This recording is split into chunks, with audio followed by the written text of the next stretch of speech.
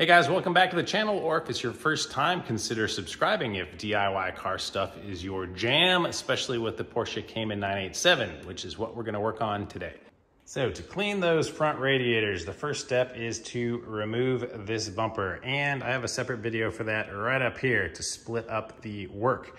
So once you have this cover off, come back and join me. All right, once you have come this far, it's pretty easy. We have a T25 that is hiding in here that we just have to uh, get a little extension and get into. All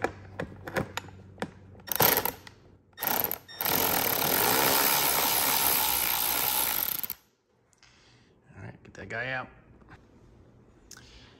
And hiding down here, we got one more.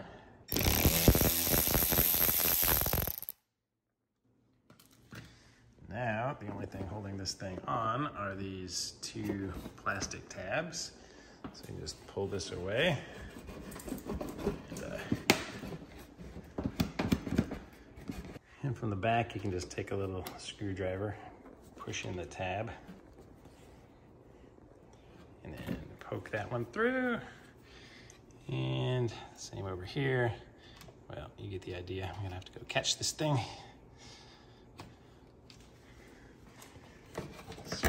Comes out. All right, do the bottom one first. That's my advice. All right, with two hands, it's really easy. And oh my gosh, I have an entire bird in mine. Wow. yeah, I think it was time to get in here and clean this. After getting rid of our little bird friend, there's just one little eight millimeter right here. Have to remove. And with that disconnected, we should be able to lift our whole radiator up. Again, there's a little clip holding that piece, that side in, so you can just slide this out to the right. And the radiators are now disconnected. Typically this is where a ton of trash gets stuck, but fortunately this one is not too bad. Sans the bird, so just get a uh, shop vac and vacuum that all up.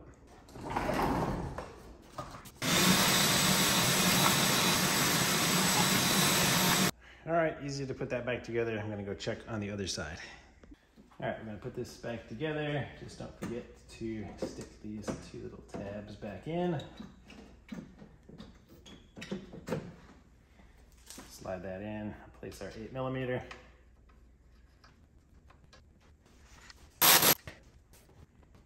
All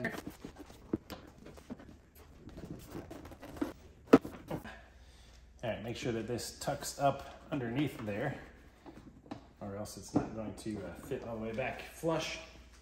All right, when you remove this one on the passenger side in the US, you still have this uh, connector attached to it. It's your exterior temperature sensor. You can uh, spin that around.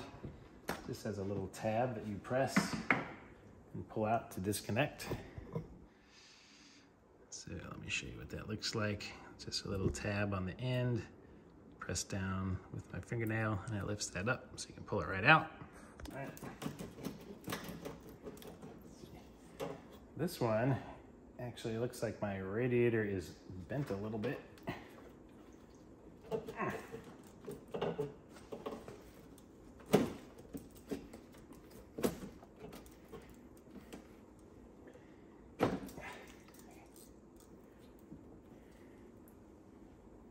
All right, some more gunk in here, clean it out. All right, that's it. If you have any tips to help make this a better process, please comment below. And if this was helpful to you, please do take the time to give it a thumbs up, like the video, because it really does help the channel, helps the video get out there to people who wanna see it. So I appreciate you all, and I will see you guys on the next video.